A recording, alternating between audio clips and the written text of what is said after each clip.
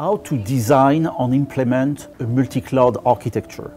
That's what we are here for today. Welcome. I'm Laurent Le Gourrierec. I lead the Oracle Alliance at Equinix. And I'm Francesc Mas. I'm the Oracle Cloud uh, lead in EMEA, so Europe and Middle East. The agenda for today in three points. First, what problem are we solving? Then, how do we design the solution? This is what Francesc will explain to you with the knowledge that comes from uh, the practice at Accenture. And then I will speak about the implementation, the way it was done at Equinix. And by this process, you'll see how the three companies, Oracle, Equinix, and Accenture, interact throughout the project. Let's talk first of all about the problem that we are trying to, to, to solve. No?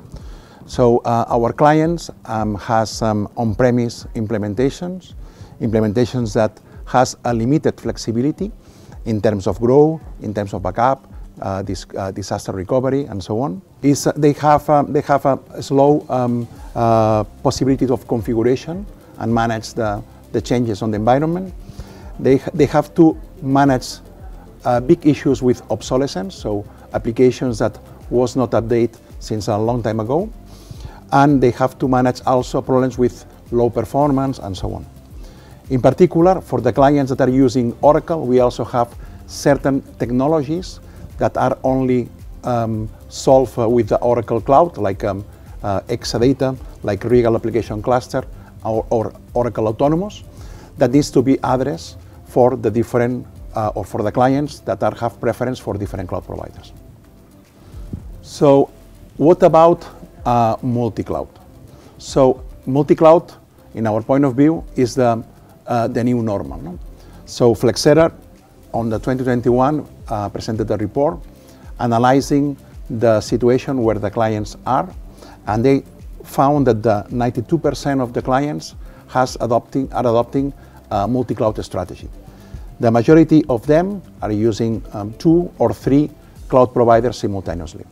So the question is how we interconnect that cloud providers. And this is one of the main topics of the conversation that we are having today.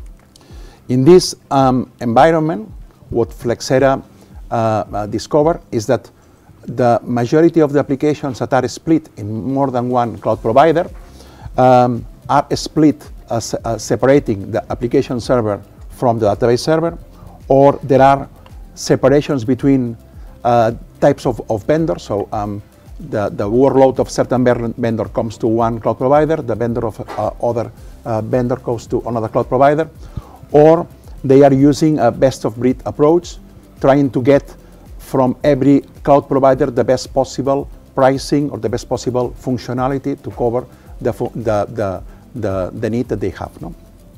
Uh, why multi-cloud?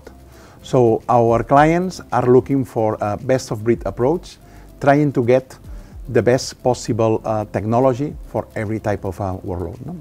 So this is um, one of different characteristics that we have in this in this um, decision point for our clients. No? So the clients, so know all the workloads works at the same way in the different cloud providers. No? So there are different specific workloads that works better. Uh, for example, database works better in OCI than in other cloud providers because OCI was designed specifically to run Oracle databases.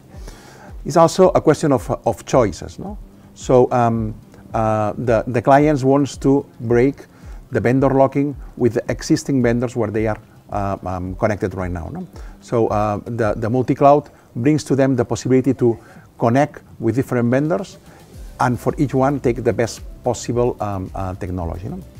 Finally, reduce the risk. Why? So uh, when you have multiple multiple choices, when you have multiple clouds, and you are interconnected to all of them, so if one of the clouds fails, you can move the workload from one uh, cloud to the other, and the connectivity and what um, Equinix is bringing here on the table is obviously a, a, a good um, a good strategy. No? So, and finally, the negotiation, the economics. So, um, uh, have more than one choice uh, brings to you more power to negotiate. Uh, you have more choice, or the client have more choice to select the best possible vendor um, depending of the conditions in the market that is changing um, every day. Now, let me talk about two uh, uh, uh, reference of clients where we implemented a multi-cloud strategy. The first, the first one is a bank. A bank that has um, a primary data center and a secondary data center, both on-premise. They have um, Exadata X6, X7, and X8, and um, they need to upgrade since um, X6 and X7 is at the end of the life cycle. So what happened in that context? So the client has the, the constraint because the connectivity between all the machines was using InfiniBand. And now, uh, with the new topology of Oracle, they need to migrate to a RoCE technology that only X8 or uh, later are possible. No? What they did on that case, what they did is move all the Exadata machines to one data center, uh, all the X8 machines to one data center, and put the DR on the public cloud. Uh, in that way, all the connectivity of Exa uh, machines can work using the InfiniBand because X8 uh, works with InfiniBand, and they can have the DR on the public cloud using ExaCS technology. At the same time, Equinix was providing a ring of uh, network between uh, Oracle, Google, Azure, and AWS that bring the possibility to the client to interconnect that data with all the different cloud providers. No? This concept of a, of a cloud ring is what we implemented using Equinix Fabric. The other case is a retail company that was splitting the application between Google and OCI. Uh, the application that they are using is developed under um, the Google technology. So all the, the front end is developed under uh, Google technology, and they are connecting with uh, OCI using autonomous technology to try to get the best of both, both worlds, no? or the best of both, both clouds. Google is bringing the, the front end with the application, Oracle is bringing the database using the ultimate database technology that is or Oracle Autonomous, and both are interconnected with uh, Equinix Fabric. Again, so in this case, uh, the, data, the, the, both data centers are located in Frankfurt with a latency of less than two milliseconds. And with this uh, latency, the application is able to perform with a huge or very good performance. Finally, the Power of Three. The Power of Three is an initiative developed between Oracle, Accenture, and uh, Equinix.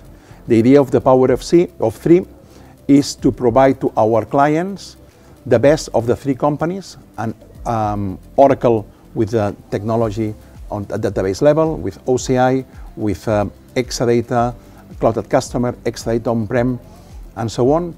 Uh, Equinix is providing the interconnectivity between um, all the different uh, possible solutions, and Accenture is bringing to the client the end-to-end solution that, that guarantee the transformation and the operations of the environments that we are transforming.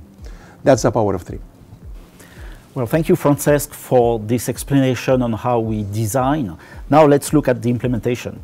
So as you said, uh, Equinix provides a network of interconnected data centers. We do this with a layer 2 backbone that we call Fabric. Uh, and this is typically the base configuration for a customer deploying with Equinix. You can imagine the customer as their own facilities connected to an Equinix data center where they put in co-location, for instance, uh, Exadata coming from Oracle, and we provide the connectivity to Oracle Cloud Infrastructure using FastConnect, which is the way Oracle optimizes uh, latency as well as capacity for connectivity. Once we've established this, we move to the next step uh, that you have described, that is the connection to other clouds. So we do this same using Equinix Fabric, and we connect to AWS, on GCP, Azure, and others. We also offer customers the capability to connect using all the partners that Oracle has developed uh, to be able, for example, to reach some specific locations where they might have branches.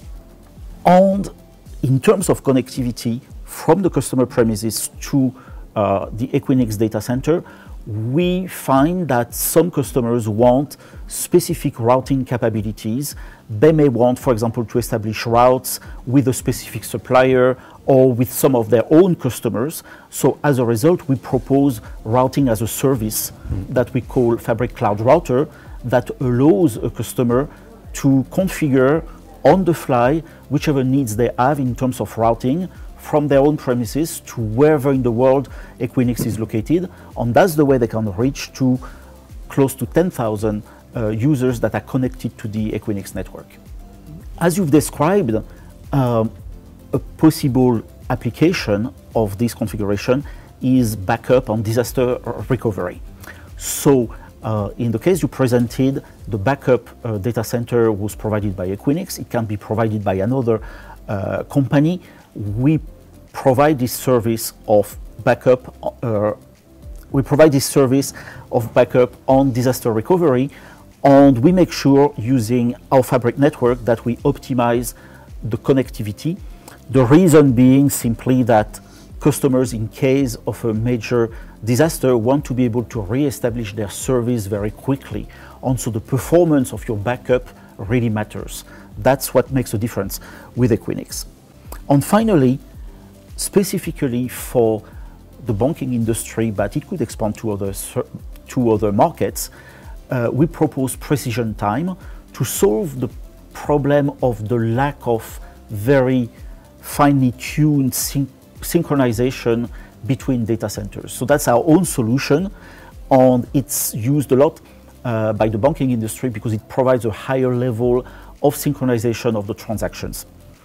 So when we put all of this together, we solve the problems of uh, the customers that you were mentioning at the beginning of this presentation. We provide ease of use, flexibility, lower cost, so this solution in the power of three uh, concept has been designed for the banking industry, for the retail industry, but more generally, we could say it's a blueprint that has been established by the three companies that can be replicated easily across other verticals. And that's what I like about the way we've worked together. Mm-hmm.